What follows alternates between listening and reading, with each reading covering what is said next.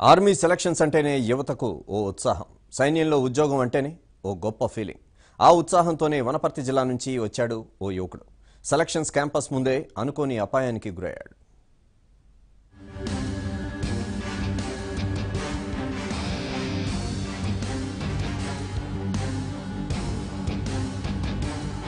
ఉద్యోగం అంటే కలల గూడు. ఉపాధి కోసం వెతుక్కునే ఆశల టార్గెట్ చదువు పూర్తయి ఉద్యోగ వేటలో ఉన్నవాళ్ళు కనీసం నోటిఫికేషన్ వస్తేనే ఎగిరి గంతేస్తారు.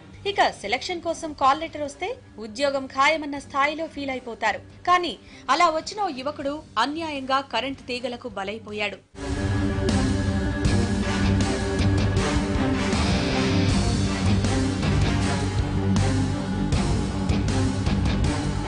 హైదరాబాద్ మౌలాలిలోని ఆర్పీఎఫ్ ట్రైనింగ్ సెంటర్లో టెరిటోరియల్ ఆర్మీ సెలక్షన్స్ జరుగుతున్నాయి.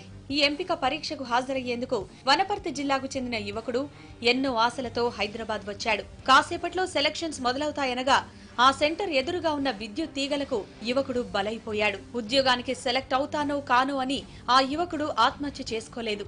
విద్యుత్ అధికారుల నిర్లక్ష్యం ఆ యువకుడి ఆశలపై నిప్పులు చల్లింది. కరెంటు షాక్కు ఆహుతి చేసింది.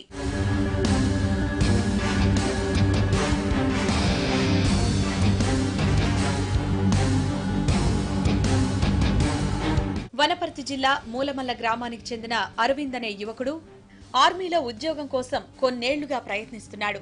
ఈ క్రమంలోనే టెరిటోరియల్ ఆర్మీ సెలక్షన్స్ జరుగుతుండటంతో ఎన్నో ఆశలతో హైదరాబాద్ వచ్చాడు. మౌలాలిలోని ఆర్పీఎఫ్ ట్రైనింగ్ సెంటర్లో సెలక్షన్స్ జరుగుతున్నాయని తెలిసి అక్కడికి వెళ్ళాడు ట్రైనింగ్ సెంటర్ దాకా చేరుకున్నాడు. రోడ్డు దాటి సెంటర్లోకి వెళ్ళే సమయంలో ఓ కరెంటు తీగ మృత్యు పాసంలా తగిలింది. రోడ్డు మీద కేవలం ఐదడుగుల ఎత్తులో వేలాడుతున్న తీగకు కరెంటు సరఫరా అవుతోంది. అది తెలియని అరవింద్ ఆ తీగను తప్పించబోయాడు. అంతే కరెంటు షాక్ తగిలి అక్కడికక్కడే మృతి చెందాడు.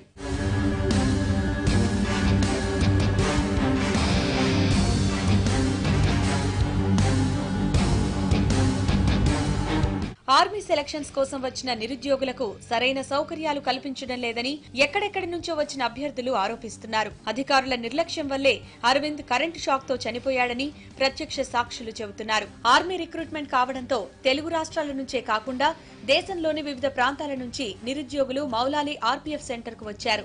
అటు విద్యుత్ అధికారుల పర్యవేక్షణ లోపం ఇటు ఆర్మీ సెలక్షన్స్ నిర్వహించాల్సిన ఆర్పీఎఫ్ సెంటర్ అధికారుల నిర్లక్ష్యం ఓ నిండు ప్రాణాన్ని బలి తీసుకుందంటున్నారు. సంఘటన జరిగిన తర్వాత కూడా ఆర్మీ అధికారులు గాని ఆర్పీఎఫ్ అధికారులు గాని విద్యుత్ సిబ్బంది గాని స్పందించలేదని ఆగ్రహం వ్యక్తం చేస్తున్నారు. పోలీసులు కూడా చాలాసేపటి తర్వాత సంఘటనా స్థలానికి చేరుకున్నారని చెబుతున్నారు. పరిస్థితులు ఇలాగే ఉంటే మరోసారి ఆర్మీ రిక్రూట్మెంట్ అంటేనే భయపడాల్సి వస్తుందని ఆందోళన వ్యక్తం చేస్తున్నారు.